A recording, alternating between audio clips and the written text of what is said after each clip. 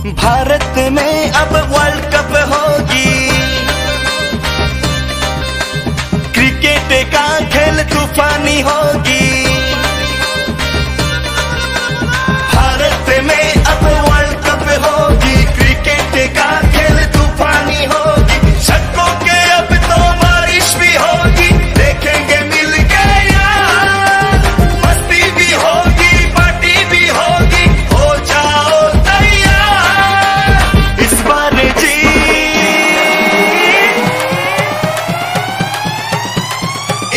City.